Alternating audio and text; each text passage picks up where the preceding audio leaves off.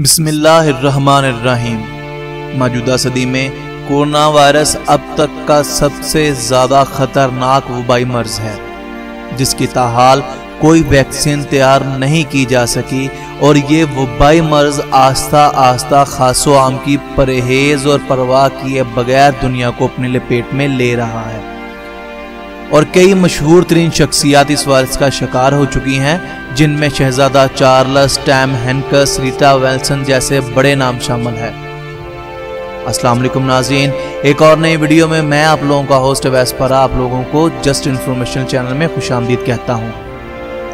और नए आने वाले सभी नाजिन से ये गुजारिश करता हूँ कि प्लीज़ पहले हमारे चैनल जस्ट इन्फॉर्मेशन को सब्सक्राइब करके बेल आइकॉन के निशान पर ज़रूर क्लिक कर दें, ताकि आप लोगों को हमारे चैनल पर आने वाली वीडियो की तमाम नोटिफिकेशन बसानी से मिल सके।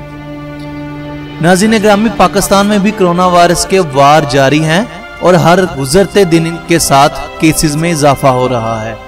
हम पाकिस्तान की उन दस मशहूर मरूफ शख्सियत का तस्करा कर रहे हैं, जो इस वायरस में मुबतला हो चुकी हैं और इनमें से कुछ सेहतियाब हो चुके हैं और कुछ अभी करंतना में जेर इलाज हैं। और दो इसमें से जाम हो चुके हैं। नंबर एक, सलमान अहमद। जुनून बैंड के मशहूर गुलकार और म्यूजिशियन सलमान अहमद इन दिनों अमेरिका में कयाम पजीर हैं। नजला जुकाम की शिकायत पर उन्होंने डॉक्टर के कहने पर कोरोना टेस्ट करवाया, जो मुस्बत निकला। चनाचे चंद रोज कबल ही करंतना में गए और कुछ दिनों में सेहतियाब हो गए। नंबर दो, सईद अहमद गनी। नाजिन ग्रामी वज़ीर तालीम सिंध सईद गनी पर कोरोना वायरस की अलामत ज़ाहिर नहीं हुई थी और आपने एहतियात कोरोना का टेस्ट करवाया। तो पता चला, टेस्ट मुस्बत निकल आया है। फिर उन्होंने अपने घर में ही करंतना इख्तियार किया और दो हफ़्ते बाद खुद ब खुद ठीक हो गए और टेस्ट मनफी आ गया। नंबर तीन, फैसल ईदी नाजिन ग्रामी समाजी कारकुन फैसल ने भी कोरोना की अलामत को महसूस करके टेस्ट करवाया, जो मुस्बत निकला और फिर करंतना में दिन गुजारने के बाद मुकम्मल सेहतियाब हो गए। नंबर चार, इमरान इस्माइल। नाजिन ग्रामी गवर्नर सिंध इमरान इस्माइल भी कोरोना वायरस का शिकार हो गए। और काफ़ी दिन करंतना में रहे, जहाँ उनका बार बार टेस्ट किया गया, जो हर बार पॉजिटिव रहा। लेकिन दो दिन कबल ही अल्लाह ने इन्हें भी सेहतियाब कर दिया। नंबर पाँच, असद कैसर। नजीन ग्रामी असद कैसर को कौन नहीं जानता?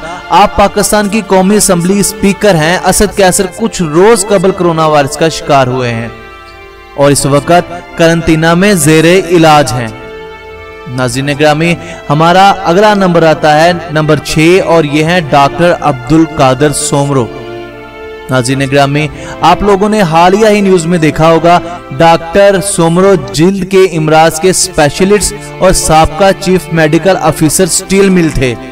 कोरोना वायरस की मर्ज का शिकार हुए और फिर इस जानलेवा वबा ने डॉक्टर साहब को सेहतियाब होने का मौका ही नहीं दिया और वो जान की बाजी हार गए। अगले नंबर पर नाजीन बारी है, आज़म खान।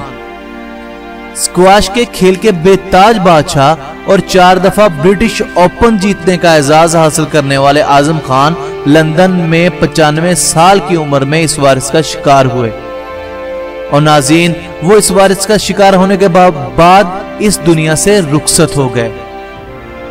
नाजीन, अगली बार आती है जहूर बुलेदी की।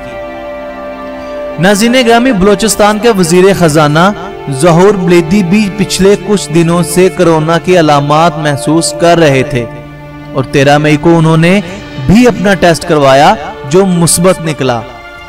जहूर ब्लीदी को कोरोना की शिकस्त देने के लिए इस वक्त अपने घर में ही करंतना इख्तियार किए हुए हैं। नंबर नौ, सरदार दोस्त मिर्ज़ा। पंजाब असम्बली के डिप्टी स्पीकर जनाब सरदार दोस्त मिर्ज़ा भी 28 अप्रैल को दुबई वतन वापस पहुँचे। और नाजीन ग्रामी आप लोगों को यह भी बताते चले कि ये दुबई से लाहौर एयरपोर्ट पर पहुँचे थे और बिना टेस्ट के ही अपने घर रवाना हो गए थे। जबकि नाजीन दुबई से वापस आने पर उनको कोरोना टेस्ट मुस्बत आया, जिसके बाद वो भी अभी करंतना में हैं। नंबर दस महमूद बंगश नाजिन ग्रामी खैबर पख्तुखवा चीफ मिनिस्टर के स्पेशल असिस्टेंट महमूद बंगश भी कोरोना वायरस का शिकार हैं और इस वक्त आइसोलेशन में हैं। नाजीन ग्रामी आज की वीडियो में बस इतना ही था। मिलते हैं अगली वीडियो में। इस उम्मीद के साथ कि जस्ट इन्फॉर्मेशन नाम है एतमाद का।